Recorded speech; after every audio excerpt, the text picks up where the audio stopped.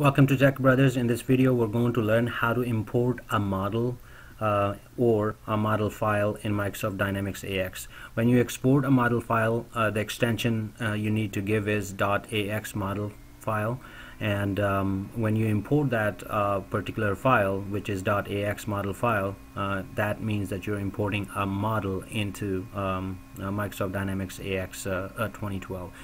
Uh, in order to do that, we're going to use Microsoft Dynamics AX 2012 uh, management shell and uh, we're going to use a utility called axutil.exe and that resides uh, in bin folder in Microsoft Dynamics AX 2012 which I'll show you in a second. So let's go to the server. Now here is the uh, Microsoft Dynamics AX uh, 2012 management shell. You need to right click and run as administrator. I have already fired up. So uh, if you are not at this particular address C program files Microsoft Dynamics AX60 server and AX prod is my AOS instance. Whatever your AOS instance is you need to go there. You need to use that and in uh, and then go into the bin the reason we need to get there is because our AX util um, .exe uh, actually reside at this address. So we're gonna go ahead and um, just quickly see how many models we have right now. So we're gonna use AX util.exe and list it'll give us the list of the models right now we have uh, these models so what we're going to do is uh, we have a file um, which is um, .ax if, let me quickly show you. In C drive there the, here is my GER model and I have exported earlier GER.ax model. So let's say that if uh, a vendor give you their um, model file and you need to import that into your environment you can use uh, axutil.exe to do that. Um, and that file should be uh, with the extension .ax model. So what we're gonna do is we're gonna go ahead and import that ger.ax model into our environment. So we're gonna use import uh, a command in axutil.exe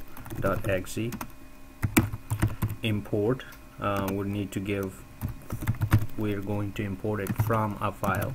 So we need to give the file and path and file name. So that would be ger.ax model. And then we'll need to give verbose uh, command. Now this is if you are um, if you wanted to target this particular uh, model file wanted to create a file uh, model this this model into a different layer or into whatever the layer. Right now we have layers up here sys layer cus layer user layer. Then you need to specify that. Otherwise the the layer that you are set in to work work with when you first start the uh, the command um, the uh, management shell uh, then it's gonna go ahead and create an user layer. So if we hit enter but if you wanted to move that then you need to provide uh, the backslash you know layer uh, where you wanted to and layer uh, let's say that you wanted to do cus layer you can do that. You you can specify a target layer where you wanted to import this particular model.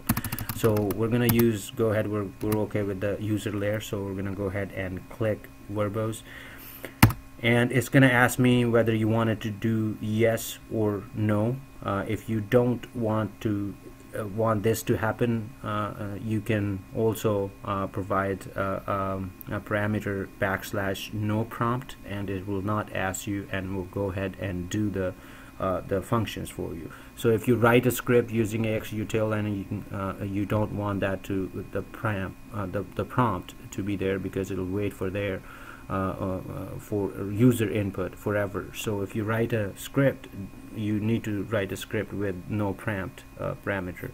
So we're gonna go ahead and say yes. And now it's saying that a GER is already existed. Do you want it to replace it? I'm gonna go ahead and say yes. And it's working now and it has done it uh, if you look at it it says cger.ax model was successfully imported into user layer. Uh, and uh, uh, this is caution up here saying that because the changes are made you need to restart the AOS box uh, AOS services or also do the data sync. So basically this is how you use um, how you import the models in in your uh, particular AX uh, 2012 R2 or um, 20 upper version environment using AX util. I hope it helps